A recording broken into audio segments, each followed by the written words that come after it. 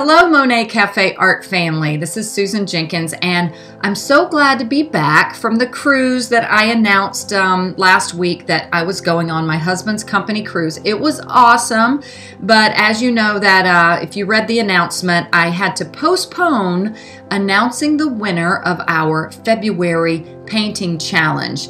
If you're new to our group, every month we have a painting challenge category where artists upload paintings that meet that particular category criteria. In the month of February, it was uh, streams, brooks, creeks, any little flowing body of water. And wow, did you guys submit some amazing work. But I had to uh, wait until I got back to my cruise to announce the winners um, that I typically announce on the first of the following month. But uh, we have two categories that we announce winners in. One is beginner, one is advanced. A beginner category is basically someone who's been painting really in any medium for less than a year, even not just pastels. And the reason for that is we don't want someone who's been painting in watercolor for 20 years to still be considered a beginner and in that beginner category. I'm sure that makes sense. And we also have the advanced category. Both category winners of every month will receive a prize. We currently have that going. Hopefully, we can keep it going. But right now, we have it through the Pan Pastel Company. Each winner will get a, a choice of some selections of pan pastels. So, um, I'm going to be announcing the winner. I thought this would be a neat way to do it right here. Um, I'm going to feature some of the uh, advanced category paintings that I really loved. Here's here's the album. We had um, over 200 paintings submitted for this month's challenge. And you guys know I always say this is one of the hardest things I do in life because these are amazing. Um, but I thought I might let you join in on my process and how I do this. I typically just go into the album and start going through paintings, kind of noticing what's beginner and what's advanced, and then I pull out some of my favorites. I don't pay any attention to the names. It doesn't matter if you've won before or not. Um, you'll just, you would have to, if you wanted a second time, you'd just get some more pan pastels. They allow you to choose different colors. So um, I'm going to show you some of the paintings in the advanced category that I have uh, kind of uh, just stood out to me as some awesome paintings. So let me go back here, kind of start to the beginning. I think I need to pull my screen down a little so you can see them better. Yeah.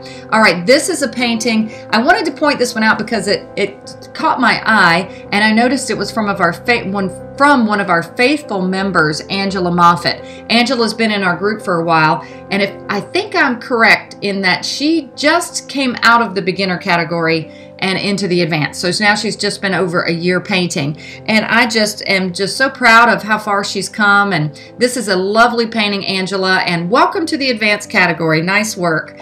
Um, this painting here, it just grabbed me for its sense of light. Um, the values are spot on with this. You really get the feeling of the time of day it is. It just feels like the warmth of the sun overhead. And uh, I love the brickwork here. Often as artists, we put too many details in and we think we have to draw every brick. And this is just very well done. I wanted to see if I could make some of these a little bigger. Um, and uh, I just love this. This is really, really nice. Kathy Zap or Zappy or Zappe. Um, I hope I got that right. Um, and now this one is from Cindy Mira Canacria. Perhaps I said that right. And uh, this one, don't you feel the sense of movement in the water? Uh, and I love the looseness of it. It just really draws you in. You want to just kind of play around and look around at all the different movements in the water.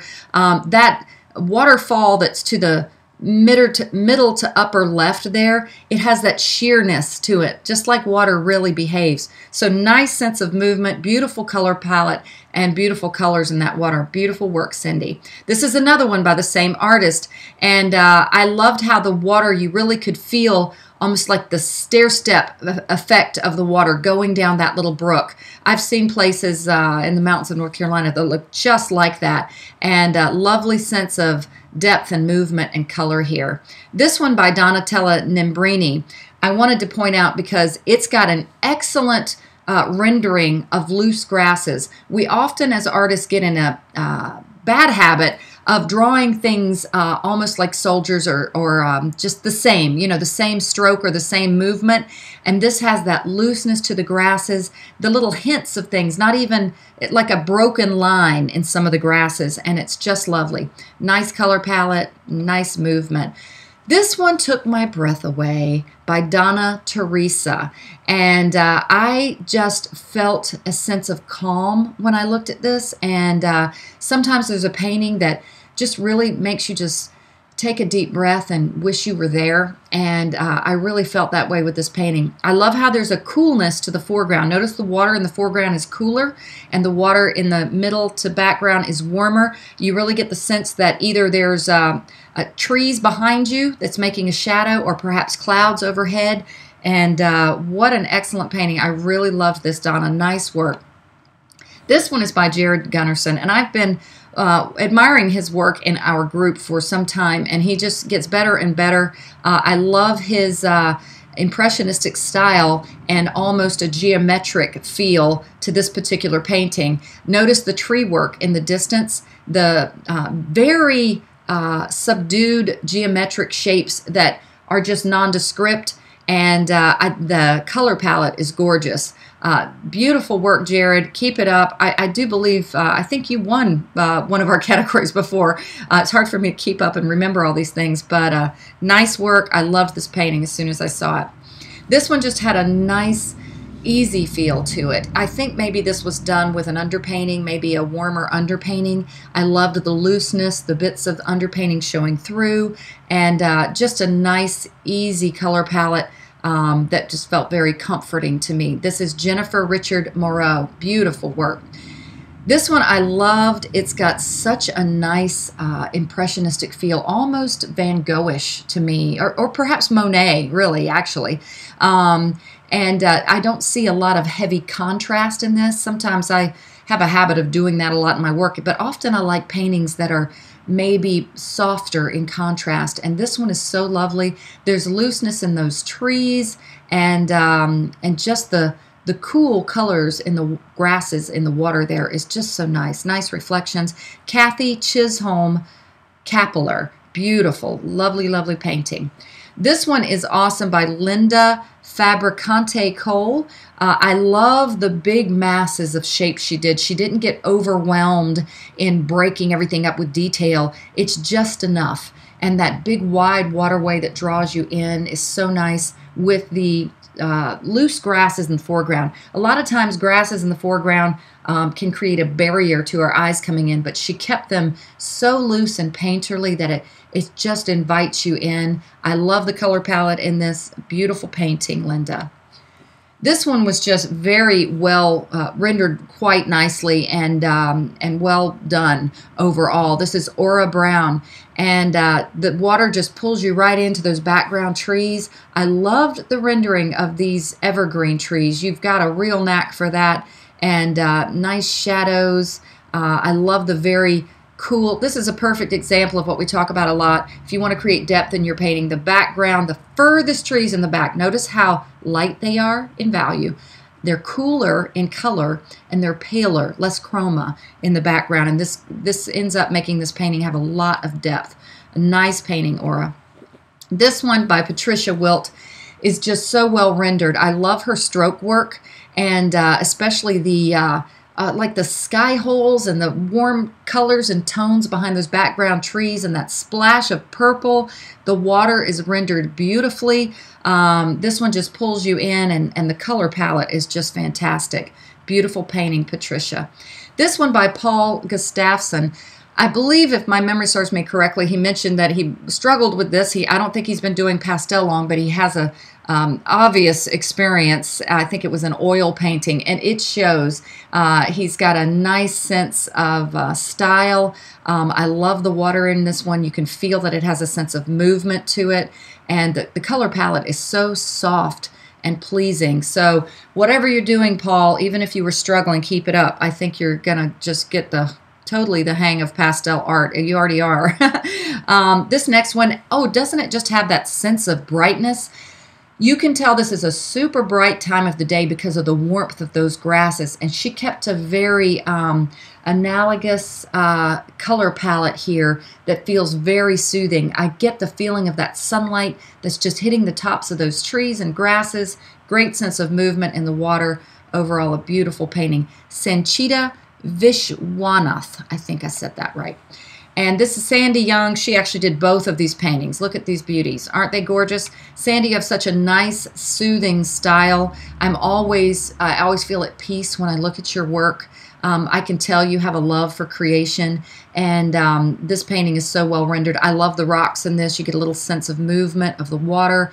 The composition is beautiful, just draws you in. And look at those lovely clouds. She has just enough there, and that doesn't that really feel like a cloudy day you've seen before? Um, and she kept her values harmonious with the cloud cover. So well done, Sandy. This one, just look how gorgeous. I love the sun and the sun's reflection in the water.